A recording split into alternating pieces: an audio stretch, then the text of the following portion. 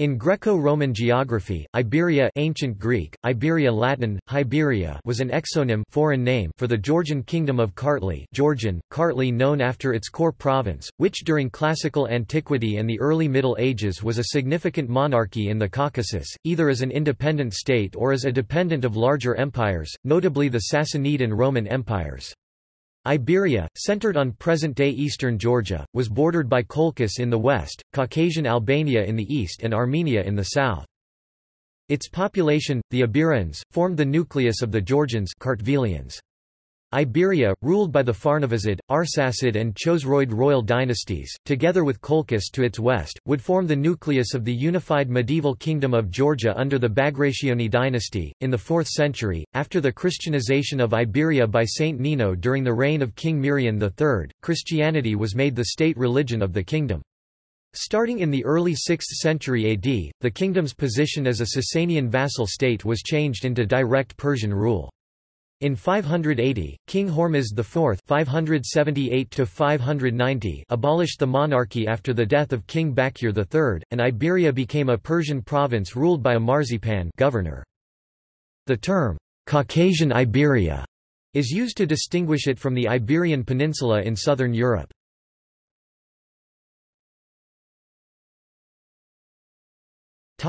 Name.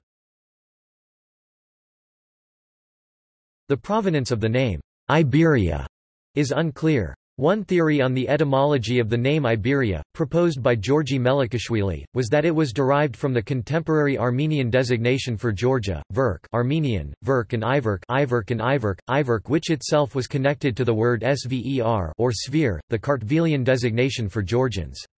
The letter s in this instance served as a prefix for the root word vir or vir Accordingly, in following Ivan Javakhishvili's theory, the ethnic designation of SBER, a variant of SVER, was derived from the word HBER, HVER, and thus Iberia and the Armenian variants, Viria and Viria. According to another theory, it is derived from a Colchian word, IMER, meaning, country on the other side of the mountain. That is of the Likhi range, which divided Colchis and Iberia from each other.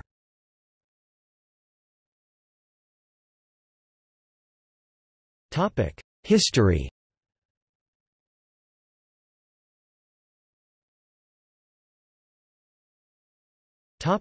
Early history In earliest times, the area of Caucasian Iberia was inhabited by several related tribes stemming from the Kura Araxes culture, collectively called Iberians or Eastern Iberians in Greco-Roman ethnography.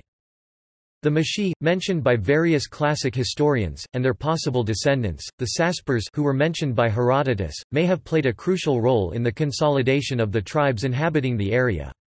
The Mashi had moved slowly to the northeast forming settlements as they traveled. One of these was Mtskheta, the future capital of the Kingdom of Iberia. The Mtskheta tribe was later ruled by a prince locally known as Mamasaklisi father of the household in Georgian. The written sources for the early periods of Iberia's history are mostly medieval Georgian chronicles, that modern scholarship interpret as a semi-legendary narrative. One such chronicle, Moktsevay Kartlisay conversion of Kartli mentions that a ruler named Azo and his people came from Arian Kartli, the initial home of the Proto-Iberians, which had been under Achaemenid rule until the fall of the Persian Empire, and settled on the site where Mtskheta was to be founded. Another Georgian chronicle, Kartlis Tskhovreba History of Kartli claims Azo to be an officer of Alexander's, who massacred a local ruling family and conquered the area, until being defeated at the end of the 4th century BC by Prince Pharnavaz, at that time a local chief. The story of Alexander's invasion of Kartli, although legendary, nevertheless reflects the establishment of Georgian monarchy in the Hellenistic period and the desire of later Georgian literati to connect this event to the celebrated conqueror.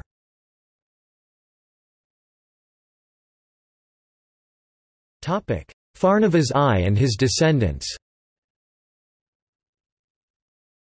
Pharnavaz, victorious in a power struggle, became the first king of Iberia c. 302 c. 237 BC. According to the later Georgian chronicles, after driving back an invasion, he subjugated the neighboring areas, including a significant part of the western Georgian state of Colchis locally known as Egrisi, and seems to have secured recognition of the newly founded state by the Seleucids of Syria. Pharnavaz is also said to have built a major citadel, the Armaztsikhe, and a temple to the god Armazi, and to have created a new system of administration, subdividing the country into several counties called saeristavos. His successors managed to gain control over the mountainous passes of the Caucasus with the Daryal also known as the Iberian Gates being the most important of them. The period following this time of prosperity was one of incessant warfare as Iberia was forced to defend against numerous invasions into its territories. Some southern parts of Iberia, that were conquered from Kingdom of Armenia, in the 2nd century BC were reunited to Armenia and the Colchian lands seceded to form separate princedoms. At the end of the 2nd century BC, the Pharnavazid king Pharnajom was dethroned by his own subjects and the crown given to the Armenian prince Artaxias who ascended the Iberian throne in 93 BC, establishing the Artaxia dynasty of Iberia.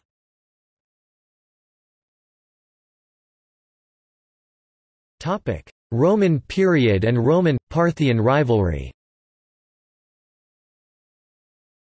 This close association with Armenia and Pontus brought upon the country an invasion 65 BC by the Roman general Pompey, who was then at war with Mithridates V of Pontus, and Armenia, but Rome did not establish her power permanently over Iberia. Nineteen years later, the Romans again marched 36 BC on Iberia forcing King Pharnavaz II to join their campaign against Albania. While another Georgian kingdom of Colchis was administered as a Roman province, Iberia freely accepted the Roman imperial protection. A stone inscription discovered at Mtskheta speaks of the 1st century ruler Mihrdat I AD 58-106 as the friend of the Caesars and the king of the Roman-loving Iberians. Emperor Vespasian fortified the ancient Mtskheta site of Arzami for the Iberian kings in AD 75.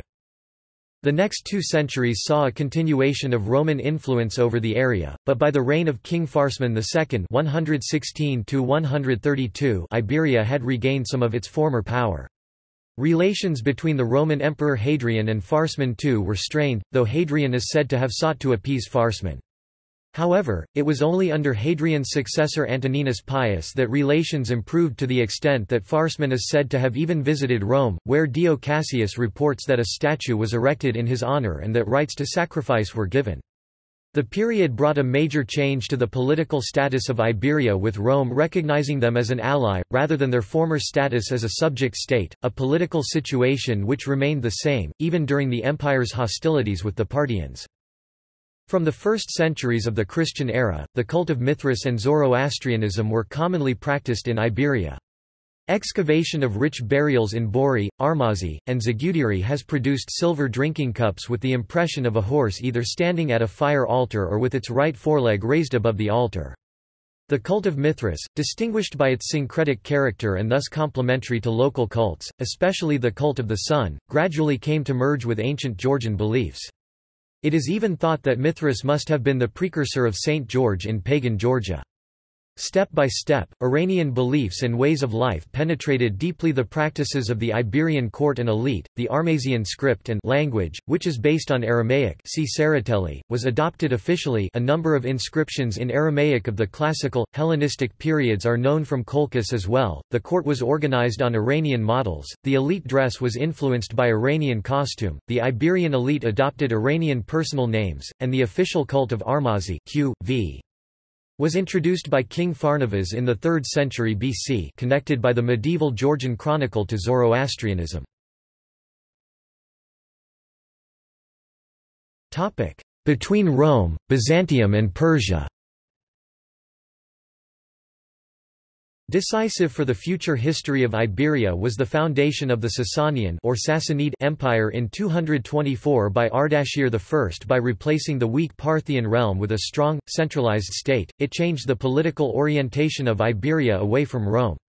Iberia became a tributary of the Sasanian state during the reign of Shapur I 241 -272. Relations between the two countries seem to have been friendly at first, as Iberia cooperated in Persian campaigns against Rome, and the Iberian king Amazasp III 260 was listed as a high dignitary of the Sasanian realm, not a vassal who had been subdued by force of arms. But the aggressive tendencies of the Sasanians were evident in their propagation of Zoroastrianism, which was probably established in Iberia between the 260s and 290s. However, in the Peace of Nisibis 298, while the Roman Empire obtained control of Caucasian Iberia again as a vassal state and acknowledged the reign over all the Caucasian area, it recognized Mirian III, the first of the Chosroid dynasty, as king of Iberia.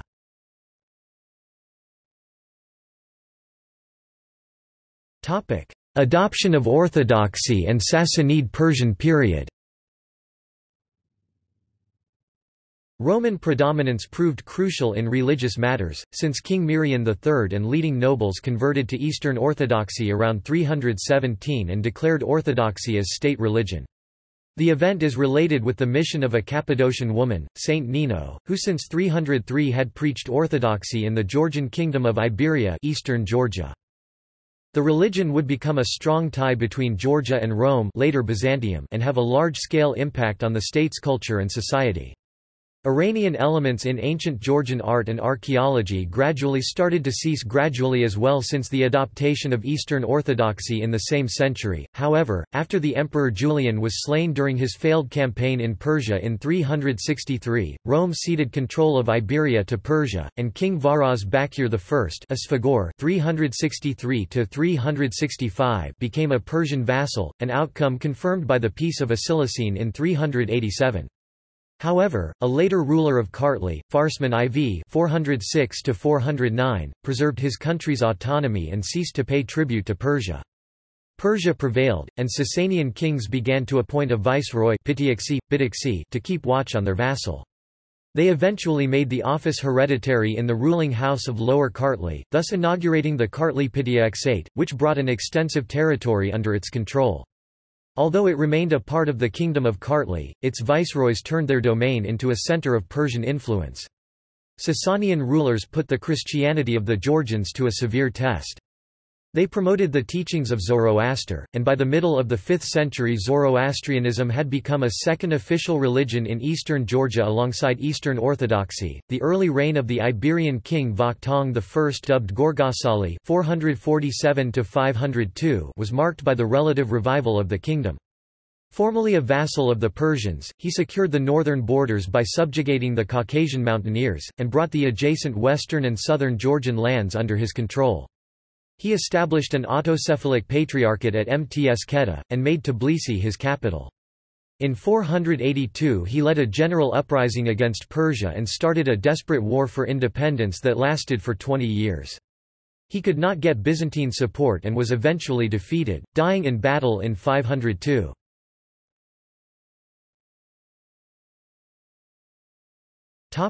Fall of the kingdom The continuing rivalry between Byzantium and Sasanian Persia for supremacy in the Caucasus, and the next unsuccessful insurrection 523 of the Georgians under Gurgen had severe consequences for the country. Thereafter, the king of Iberia had only nominal power, while the country was effectively ruled by the Persians. In 580, Hormizd IV (578–590) abolished the monarchy after the death of King Bakur III, and Iberia became a Persian province ruled by a marzpan governor. Georgian nobles urged the Byzantine Emperor Maurice to revive the Kingdom of Iberia in 582, but in 591 Byzantium and Persia agreed to divide Iberia between them, with Tbilisi to be in Persian hands and Mtskheta to be under Byzantine control. At the beginning of the 7th century the truce between Byzantium and Persia collapsed. The Iberian prince Stephanos I c. 590–627, decided in 607 to join forces with Persia in order to reunite all the territories of Iberia, a goal he seems to have accomplished. But Emperor Heraclius's offensive in 627 and 628 brought victory over the Georgians and Persians and ensured Byzantine predominance in western and eastern Georgia until the invasion of the Caucasus by the Arabs.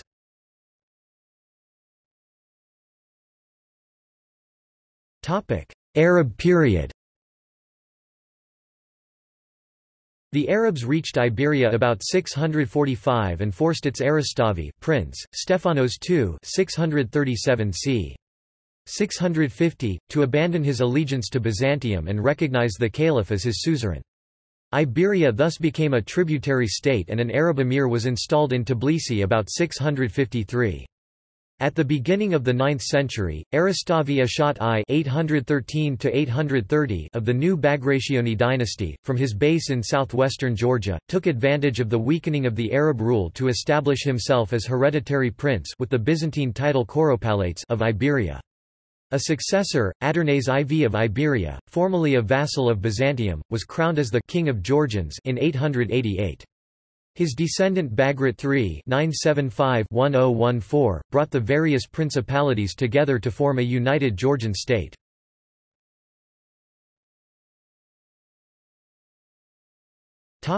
Eastern and Western Iberians The similarity of the name with the old inhabitants of the Iberian Peninsula, the Western Iberians, has led to an idea of ethnogenetical kinship between them and the people of Caucasian Iberia called the Eastern Iberians. It has been advocated by various ancient and medieval authors, although they differed in approach to the problem of the initial place of their origin. The theory seems to have been popular in medieval Georgia.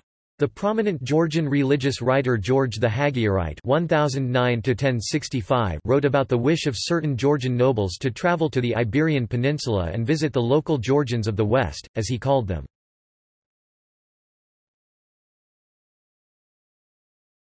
Topic. See also. Georgian monarchs family tree of Iberia Roman Georgia Sasanian Iberia